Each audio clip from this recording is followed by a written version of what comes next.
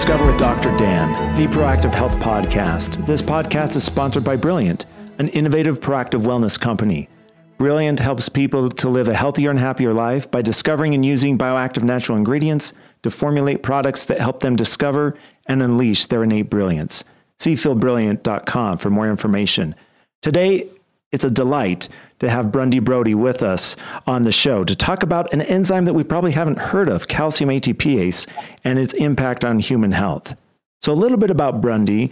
When Brunde Broady's infant son experienced an onslaught of health issues that conventional medicine could neither define nor treat, she began her own research based quest for answers. Over the course of 10 years, she pulled together hundreds of threads from scientific journals and revealed the importance of the enzyme calcium ATPase. Broady has a Yale MBA and has received patents in both the United States and China related to her work on calcium ATPase.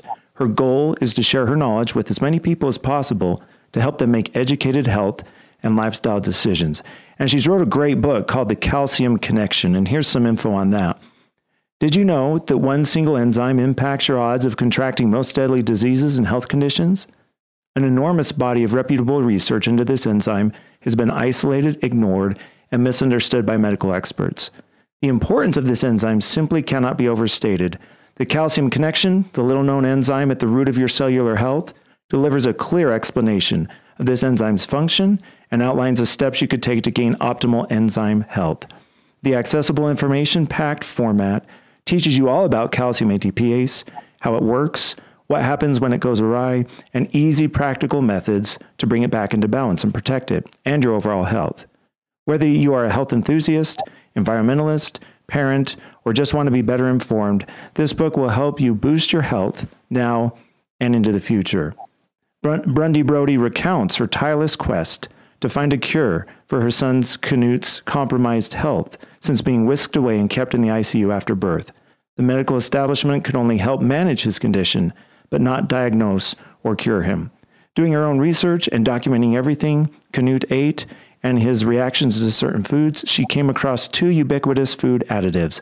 Diving deeper, she learned how calcium ATPase, a fundamental regulator of intercellular calcium, is negatively impacted not only by these additives, but by a torrent of other inhibitors. Knut's health is a testimony to Brunde's discoveries, and the calcium connection gives readers a front row seat to understanding how to maintain optimized cellular health. With that, Brunde, it's sure a delight to have you on the show with us.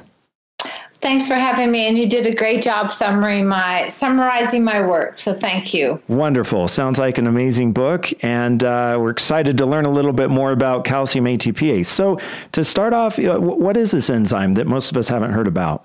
Okay, so when most people think of calcium, they think of bones and teeth, right? So there's 2.2 right. pounds of calcium in our body, but a teaspoon and a half are in our blood and our cells. And what most people don't know is the rise and fall of calcium levels within your cells is like a traffic signal. It controls all cell functions.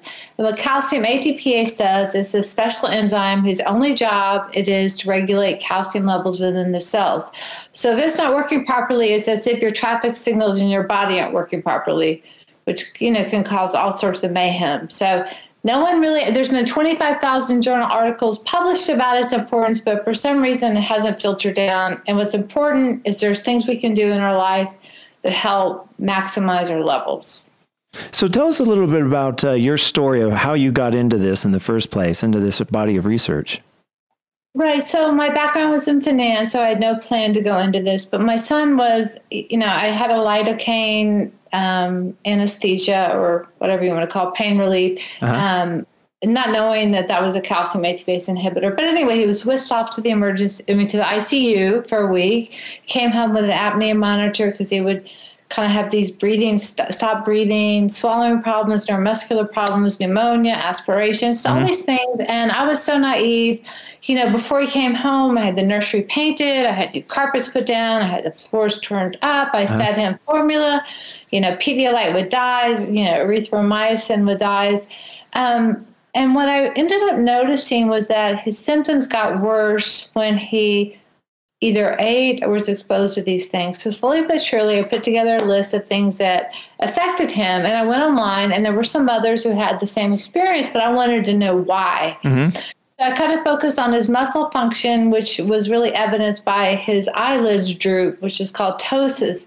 So I learned about how calcium, how muscles work, and calcium regulation within muscle cells was key. Yep. And then I began to research on PubMed, which is the place where there's all the medical journal articles.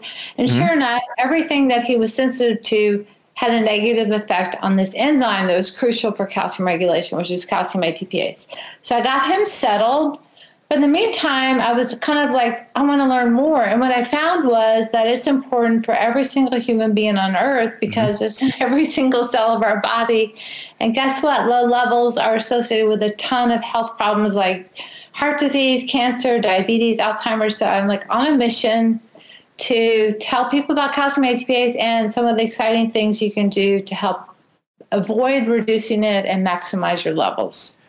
Wow. Well said. Um, so, jumping right in, if we want to help to regulate our calcium uh, ATPase levels, this uh, biosignaling regulator in the body, what are some things that we can do? Okay, so the first thing you can do is try to reduce your exposure to toxins. That means just like the traditional ones like lead, lead mercury, cadmium, etc. Pesticides, but also things you may not know about, such as food additives, BHT, TBHQ, food dyes, potassium bromate, and things that you may not have thought of, like aluminum when you cook with acidic foods such as um, barbecue sauce or tomatoes that causes cal- uh, aluminum deletion to your foods, mm-hmm. sunscreens with titanium dioxide nanoparticles, um, sushi. Tuna, tuna sushi has super high levels of mercury. So in my book, I have a ton of different checklists, and you don't have to do all of them, right? Right. Every one that you do is positive for calcium ATP. So that's one part, toxin reduction. The second thing was really exciting, which is there's all these foods you can eat that have compounds that actually have been shown to stimulate calcium ATPase. Mm-hmm. So, you know, it, it, kind of includes all the superfoods you know about, like strawberries, nuts, um, you know, pomegranate, uh, spinach, kale. But the exciting thing is there's actually research done that these compounds like oleic acid, mm-hmm. lycopene, resveratrol, all green tea, ginger, all have been shown actually in research studies to stimulate this compound. Um, the, the third thing is blood sugar, because high blood uh-huh. sugar is the enemy of calcium ATPase, which we all know is, is bad. Number four is exercise. There's a, all types of exercise stimulate calcium ATPase. And the last plank is stress reduction because stress hormones reduce calcium ATPase. So there's a lot of things you can do but at the same time, there's a ton of, I'm also involved in biotech companies. Okay. There's a ton of things coming down the road that can, um, if you already have a problem, it can help. But in the meantime, there's these supplements like you have with your brilliant um, Connect supplement that has all, a lot of different compounds like green tea, um, resveratrol, um, let's see, uh, pomegranate, um, just a lot of things. So in the meantime, there's supplements you can take that really support calcium ATPase, and it's such a crucial enzyme that anything you can do to support it is a worthwhile um, endeavor. Yeah, it's amazing to think about these signaling mechanisms in the body that control the the millions or trillions of chemical reactions that occur every single second. So with calcium ATPase, uh, if if I want to help it, would I take a calcium supplement? Would that help? No, so that's kind of, I mean, that's why it's, it's kind of a confusing thing because um, calcium levels within your blood are separate from calcium levels within your cell. Mm-hmm. There is an interaction because when there's too much calcium in the cell, it's pumped out of the cell into the bloodstream. Um, but unless you're taking like mega doses of calcium, it's not going to affect how much calcium is within the cell. Okay. So it's kind of everything. I mean, calcium is clearly important, right, for bones and teeth. Mm-hmm. But in terms of this particular enzyme, it's surprisingly not relevant. Okay. Um, what about magnesium? I know calcium and magnesium sometimes go together. Right. So magnesium basically acts as a calcium channel blocker. Mm-hmm. So the reason why that helps with your blood sugar and relaxation is because when too much calcium gets into a cell, it causes um, for example, muscle contraction. So, what magnesium does is it blocks the flow of calcium into the cell, kind of like calcium channel blockers. Okay. Um, so that's one way because when you have too much calcium in a cell, it can cause damage to the cell. So calcium ATPase works in concert with magnesium because it's just another tool the body has to to um, regulate the calcium level within the cells. I mean, in one way, they kind of both do the same thing, which is lower calcium levels back to baseline, but, uh-huh. but they have different mechanisms. Okay. And so the whole point of this, as you were saying, is to is to push calcium out to get it to normal levels and to keep equilibrium in the cell. Right. So the other thing that calcium ATPase does that magnesium doesn't do is mm-hmm. that it pumps calcium into these storage vesicles within the cells. And they have a fancy name called the endoplasmic reticulum. Mm-hmm. But just just just know they're storage vesicles. And the reason why that's important is not only because it lowers calcium within the cells, but the endoplasmic reticulum needs a certain amount of calcium not to be stressed. Mm. And if it's stressed, it can't do its job, which is fold proteins such as insulin and all sorts of different things. So calcium ATPase lowers calcium levels and it also maintains endoplasmic reticulum equilibrium. And if that's off, it can lead to so many different diseases. So it, it has an extra an extra role that magnesium doesn't have. Okay.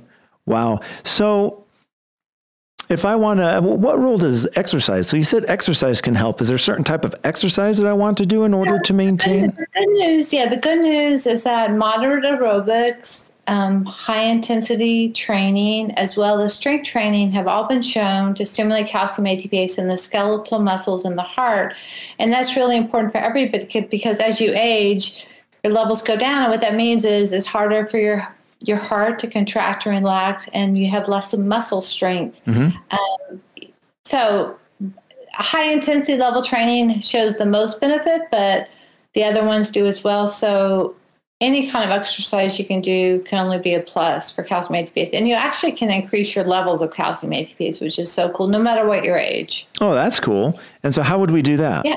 Is that via exercise or are there other things? Yeah.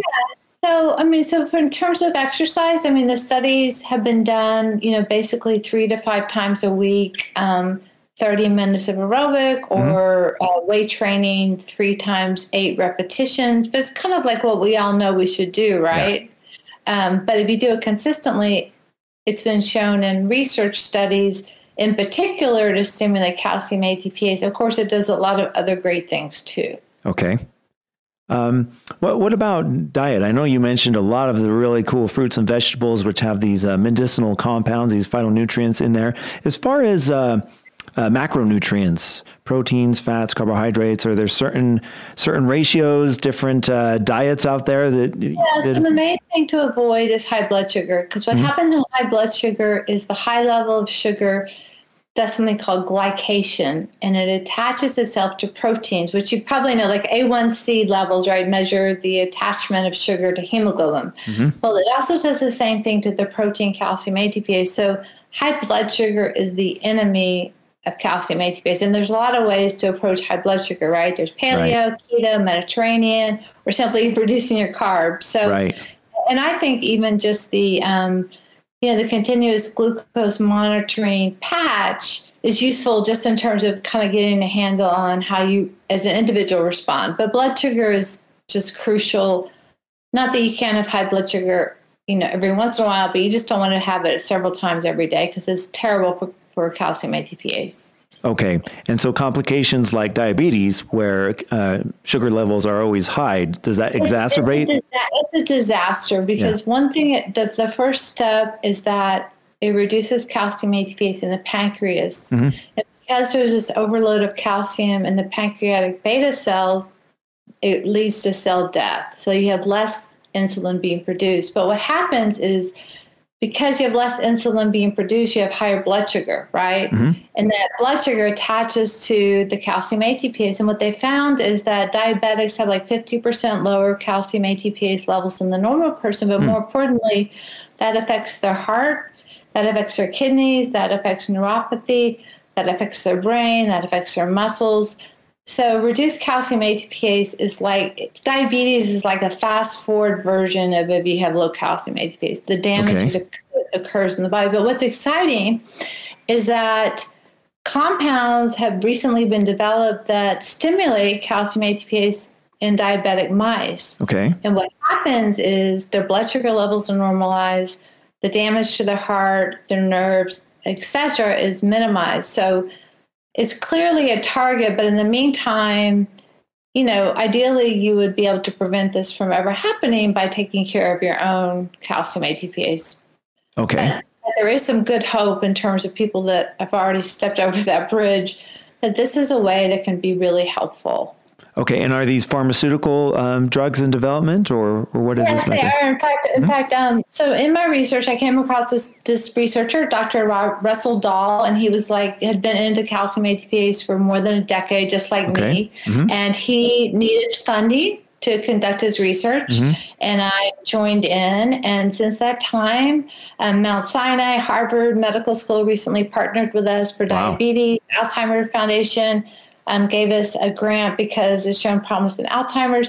And kind of like most exciting to me is just in the last month, um, Japanese researchers used our compound and were able to reduce, actually eliminate muscle damage and Duchenne muscular dystrophy, which is that terrible disease right. for happens to kids. So, mm-hmm. and, and I'm one drop in the ocean. There's a million other researchers doing the same thing. But what's exciting is that this particular target, calcium ATPase, is really a key factor in health because it controls every cell. Uh-huh. So down the road, there'll be pharmaceuticals, but in the meantime, there's things we can do. Okay. And so these pharmaceuticals, do they bind to the calcium ATPase active site, an active site? Yeah, so basically they stimulate the activity of it. They're okay. called small molecule cell activators. Mm-hmm. So they don't actually increase the amount of calcium ATPase, they increase their its activity. And by doing so, again, it prevents that toxic calcium overload. Okay. That's one part. The second part is it prevents endoplasmic reticulum stress. And what happens when there's endoplasmic reticulum stress, it ends up having a cascade, which is kind of like a death spiral where uh-huh. it triggers the cell to die. So, like in Alzheimer's, when you have endoplasmic reticulum stress, that's when you lose neurons, mm-hmm. right? In diabetes, that's when you lose pancreatic cells. And muscular dystrophy, even though um, dystrophin is the main problem, that protein, because of those leaks and that protein, excess calcium gets in the cell, which ends up causing cell death. So if you can stimulate calcium ATPase, it can prevent that overload. So so calcium ATPase, the, the most important thing it does is it prevents endoplasmic reticulum stress, which which leads to cell death. Okay. It's irreversible, so to speak. Right. Wow, this this is good stuff. So um, you mentioned some of the work you're doing. Where do you think the future is with research with calcium ATPase and uh, hu- human health in general? What what we can do? Right. So um, so there's been a lot of studies with gene transplant where they use a virus to you know for the heart and also for different muscles and blood vessels and and muscular dystrophy, and there's been a lot of positive results. Mm-hmm. But it seems to be hard to convert those animal studies to human studies. Yeah. So, you know, in small studies, it's shown a benefit. So, so now researchers are looking at a different way, i.e., small molecules that stimulate calcium ATPase. And there's mm-hmm. actually some new heart failure drugs out that one of their modes of action. So, and also the, the Harvard researchers that, that we ended up hooking up with, I was drawn to them because the guy implanted a chip mm-hmm. into mice that were overweight, right? A small yeah. chip that was had a wireless connection to something, and by pushing the button, it stimulated calcium ATPase, and the mice ended up their metabolic rate went up like 20% in 10 minutes. Wow.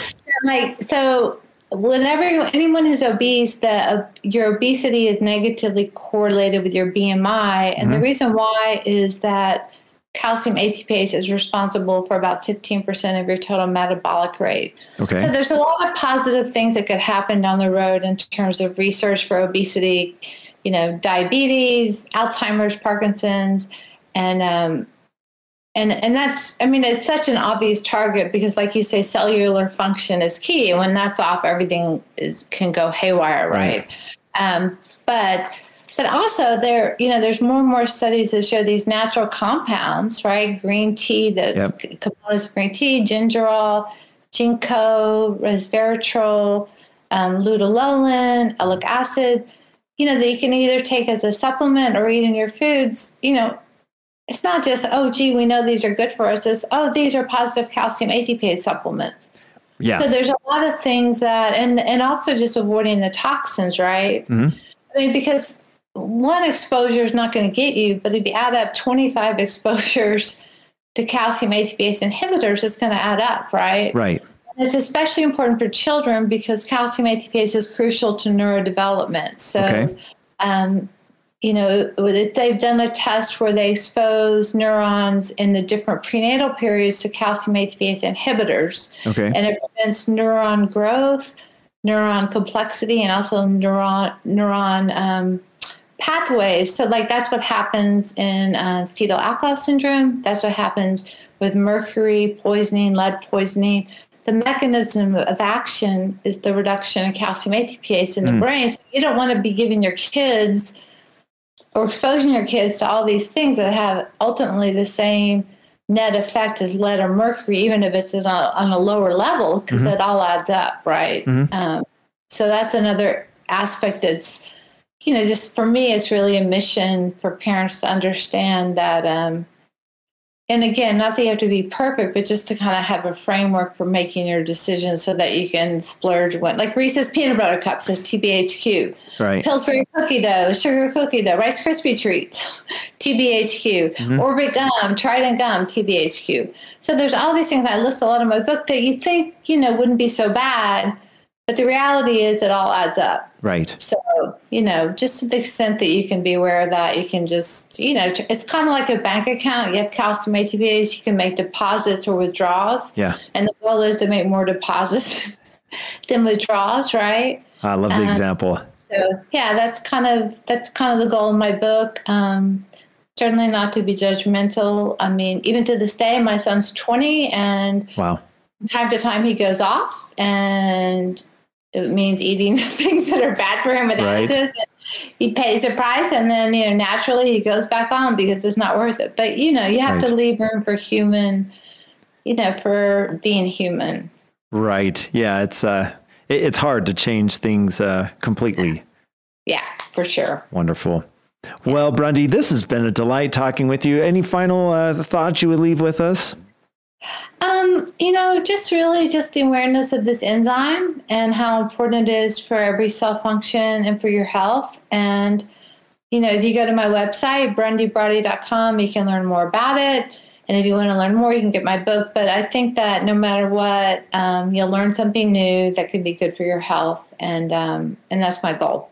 I'm not selling anything. I'm just trying to get the information out there. Oh, fantastic. Thank you for your mission. We need a lot more people like you that uh, help to get out uh, critical scientific information that uh, the general public doesn't know about. Wonderful.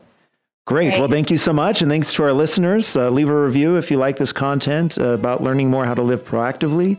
And take care. This is Dr. Dan signing off. Okay. Bye bye. Bye.